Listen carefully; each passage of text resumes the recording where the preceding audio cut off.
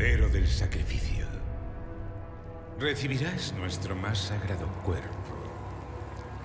Esto empieza ahora. Muy buenas cracks, bienvenidos una vez más a vuestro canal sobre Xbox y en el vídeo de hoy pues vamos a hablar de Resident Evil 4 Remake.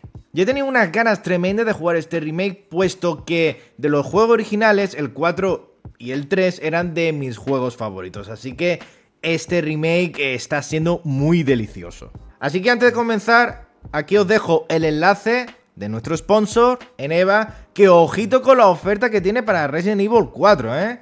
Porque acaba de salir y ya tiene muy buenos precios. O sea que mm, me ha repetido un poco de no haberlo comprado directamente de Neva y me lo he comprado directamente desde la Store. Así que ojito, si está interesado en, pillarlo, de verdad, ir allí porque os vais a ahorrar unos cuantos euritos. Así que, si os interesa, abajo el link en la descripción del vídeo, como siempre. Bueno, comencemos comentando de lo que me está pareciendo eh, gráficamente hablando Resident Evil 4 Remake en Xbox Series S.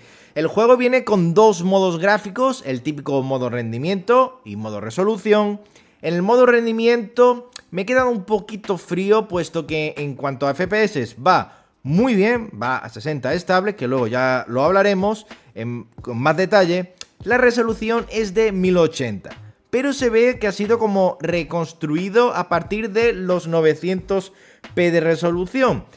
Puesto que en ciertas zonas, seguramente lo estaréis viendo, se ve borroso. Y a mí personalmente me llega a molestar bastante.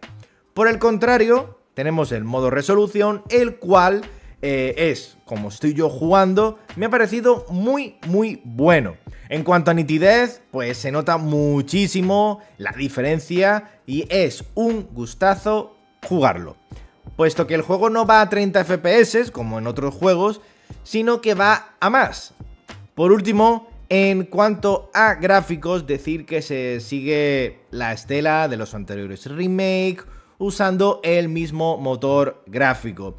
Y aparte de que el, juego de luces y sombras junto con la niebla se ve, bueno, se ve espectacular, ¿vale? Luce muy muy bien, pero no es un portento gráfico, ¿vale? Pero, sinceramente, a mí me está gustando muchísimo. Ahora pasemos a comentar el tema del rendimiento. Aquí os dejo una comparativa entre ambos modos gráficos y como ya os dije antes, el modo rendimiento va a unos 60 FPS estables, quizás en algún momento baja unos cuantos FPS, pero nada, nada grave.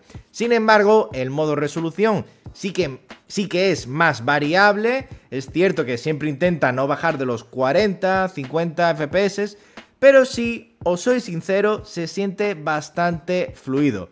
Esos 10, 15 FPS de más ayudan a bastante que si fuera solo a 30 FPS estables. De todas formas, en ningún momento me ha molestado o perjudicado mi experiencia de juego. Así que muy bien por esa parte, por el lado de Capcom.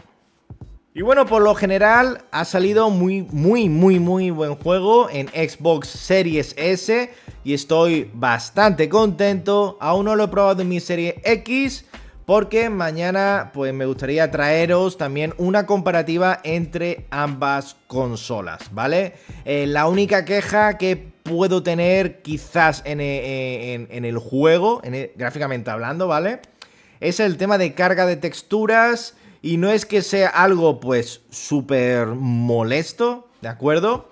Pero sí que eh, puede empañar un poquito la experiencia de inmersión, por, puesto que a veces eh, sí que se pierde algo, ¿eh?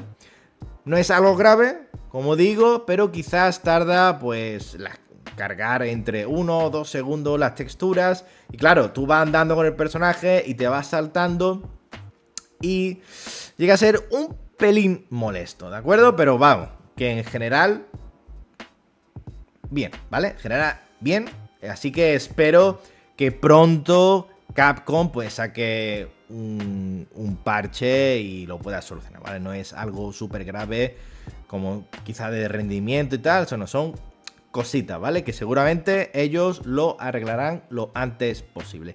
Así que nada, por lo demás, ha salido un juegazo, me está encantando de verdad, eh, me flipa, me flipa, ¿vale? Próximamente tendréis ya, cuando me pase el juego este fin de semana, que lo tengo libre, ya tendréis, eh, bueno, un, análisis ya hablando del juego en concreto y ya, aparte ya de lo, bueno, ya no comentaré eso del rendimiento y resolución, sino ya directamente del juego. Y nada, así que nada, espero que os haya gustado este vídeo, por favor dale like y comentar para apoyar el vídeo, que ya sabéis que me ayuda muchísimo a la hora de que YouTube muestre el vídeo. Y si no, no por aquí y te gusta el contenido, pues te puedes suscribir por aquí. Y si quieres ver más vídeos del Tito Kengo, pues te dejo aquí un par de ellos. Ahora sí, nos vemos muy pronto, seguramente mañana, en el siguiente vídeo. Chao.